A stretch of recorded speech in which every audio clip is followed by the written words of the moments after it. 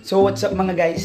Um, kung bago ka lang sa channel ko, click, please subscribe button notification bell para ma-update ka sa every new upload videos ko. So for today's videos, mga kalner, um, magluluto po tayo ng champurado. So, um, una pong natin gagawin is magsasala, magluluto po tayo ng rice.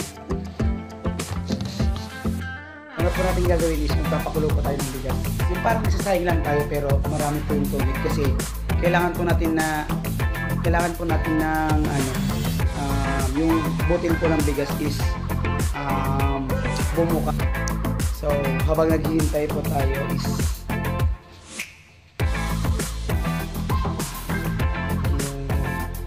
naghihintay po kasi tayong kumulo siya para maluto. Tingnan niyo po. Mm. So, um, so habang naghihintay po tayong maluto ay maluto yung ano natin, yung bigas natin. Si-shoutout muna po pala ako sa mga kaibigan ko sa store. Um, shoutout po nga po pala si Sen, si Sen, si Franco, tapos yung lahat sa store.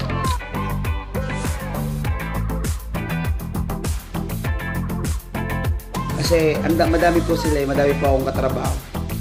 So, habang naghintay po tayo, ito po, si PJ oh. PJ. Ah! Ay, si PJ, si PJ. Si PJ, PJ. PJ, wala ka na. Dali ka na, PJ.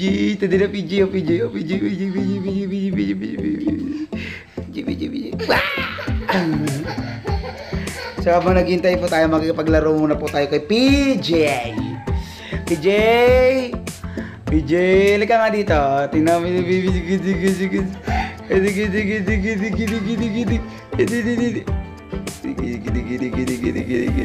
Dili!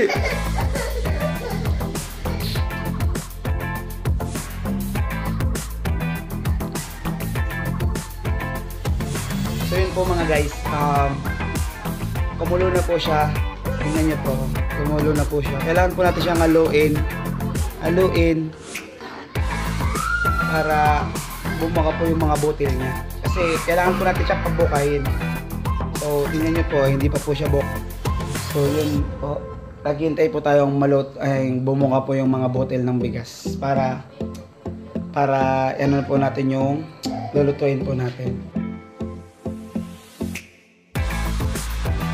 Maghintay po tayo ng mga 5 minutes, 5 minutes, 5 to 10 minutes para um, bumuka po yung mga botel ng bigas. Para ilagay po natin yung tsokolate.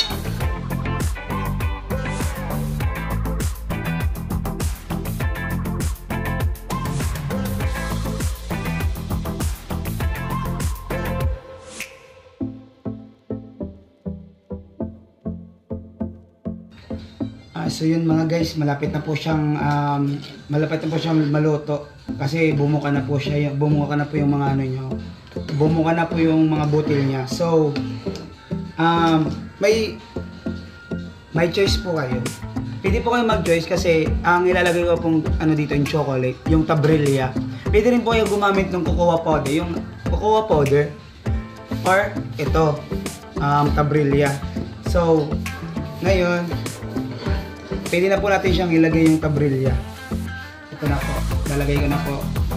Um, yung tabrilya po, pwede na po natin siyang idirektang ilagay sa niluluto po natin kasi um, ano naman po siya, mainit naman po yung ano yan. Narutunaw naman po siya. O, uh, magsasarili na lang po siyang matunaw kasi mainit naman po. Tsaka kumukulo naman po yung niluluto natin. Kaya pwede naman po siya kahit idirekta mo nang ilagay. Or pag naman po, di, eh, pag po kasi pag ano, yun yung ginamit mo pang ano sa champurado, hindi po siya pwedeng idirekta kasi pag didirekta mo siya, hindi magbibilog-bilog siya. Kailangan mo siyang tunawin sa um, yung iniinom, pwede yun.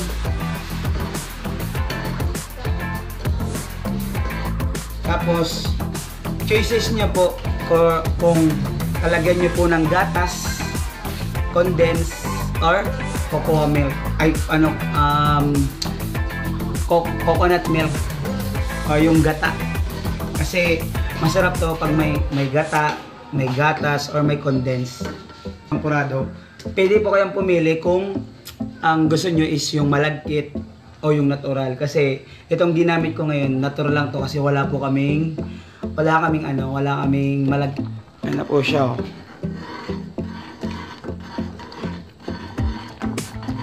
Ayun na po siya, oh. malapit na po siyang maluto. Oh, di ba? Ah. pag pakukulay na lang po natin siya kasi kailangan po kailangan So yun, pakukulay na lang po natin siya ng mga 5 minutes. Ah, tapos lalagay na po natin yung asu asukal or sugar. Kailangan po natin siyang tansyahin kasi yung ano po kasi, yung tabrilya, may, aso, may asukal na po siya kaya medyo matamis na po siya. Kaya kailangan lang po natin siyang tansyahin. Titikman po natin kung luto na po siya o hindi pa. So, tinikman na po natin, matamis na po siya kaya okay na po yung ano niya, yung lasa niya. Um, kung ano na lang po yung kulay niya, yung pagka dark brown niya. Yun na lang po yung inaano natin kasi para masarap siya.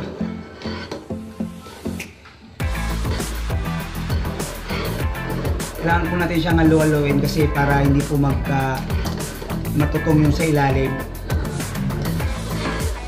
Tapos painaan po natin yung apoy para paano na lang po um, tamang pa luto na lang po.